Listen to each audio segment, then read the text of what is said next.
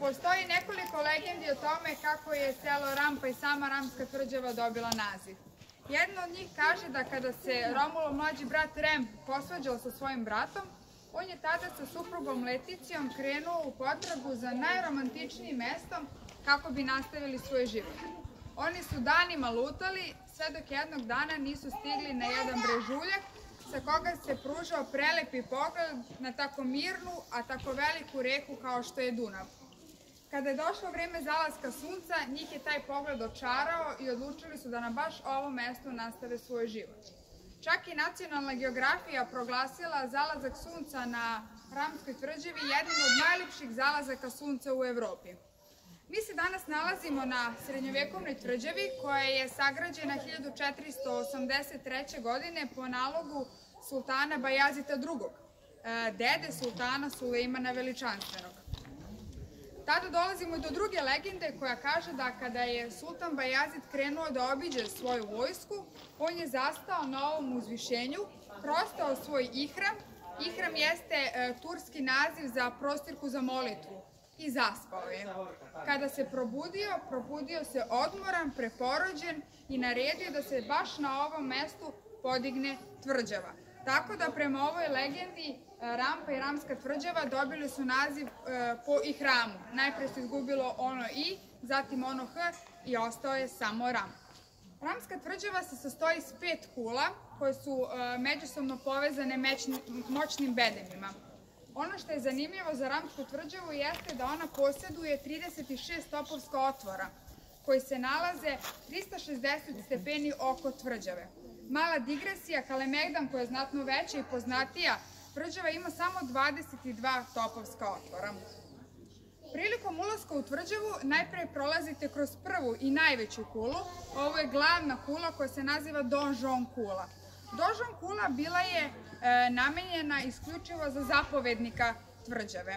Donžon kula se razlikuje od ostale četiri kule po svojoj veličini, E, ona posjeduje prizemlje, tri sprata i dve platforme na vrhu, dok sve ostale kule posjeduju prizemlje, dva sprata i jednu platformu na vrhu.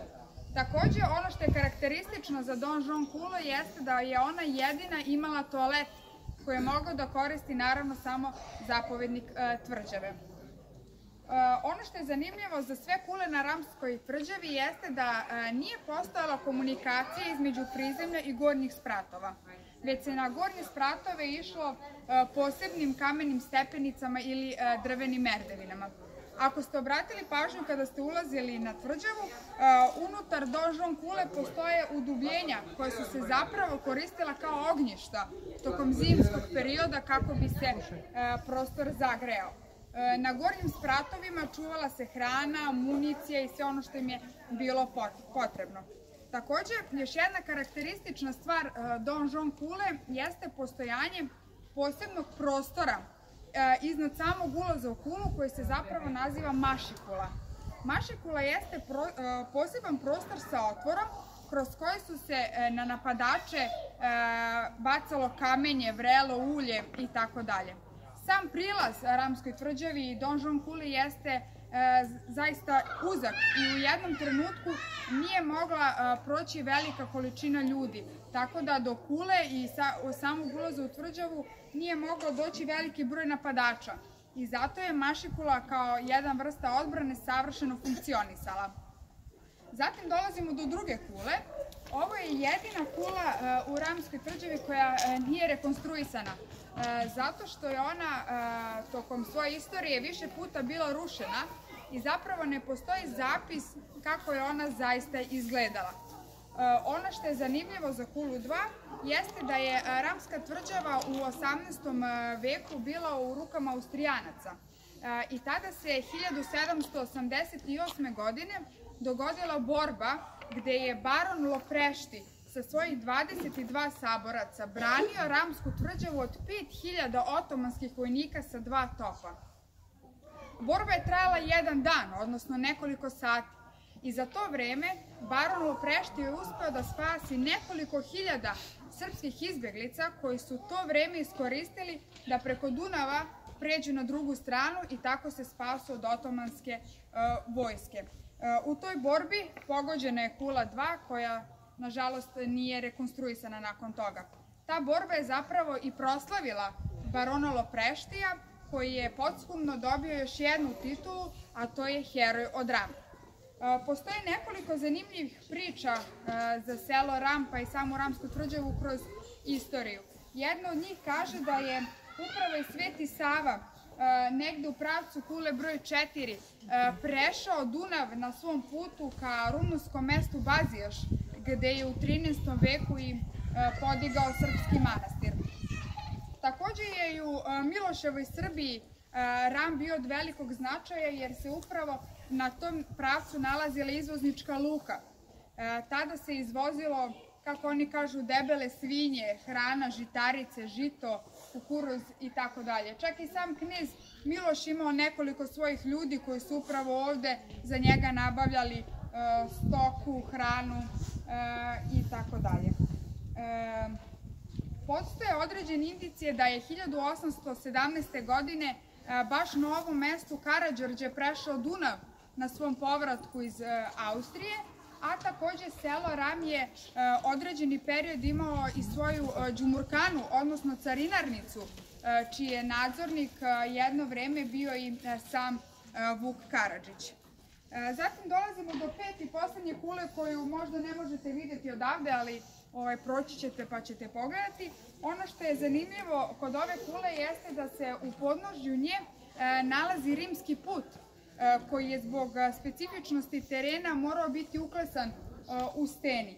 Ovaj put je zapravo spajao Viminacijum i Lederatum. E, Lederata jeste e, rimsko e, vojno utvrđenje sagrađeno krajem prvog i početkom drugog veka nove ere.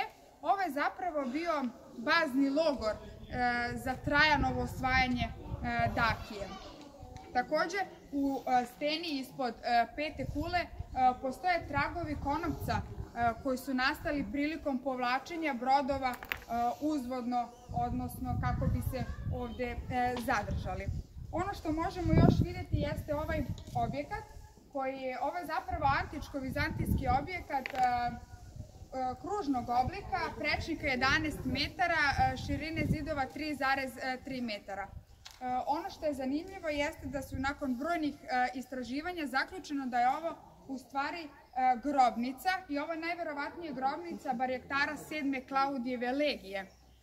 Ono što je zanimljivo za ovaj objekat jeste da ne postoji ulaz, niti bilo kakav otvor i ovo je objekat koji nije rekonstruisan, naravno, čak i Turci kada su došli i u 15. veku gradili ovu tvrđavu, oni ovaj objekat nisu rušili. E, Ramska tvrđava je zbog e, svo, načina gradnje i svo, svoje veličine bila najznačajniji u ratnom periodu, ali je takođe od velikog značaja bili u mirnijim vremenima. E, takođe, ako ste primetili, ako ste dolazili od ozgore ili ako niste, možete posetiti, u blizini Ramske tvrđave postoji karavan Saraj iz 15. veka.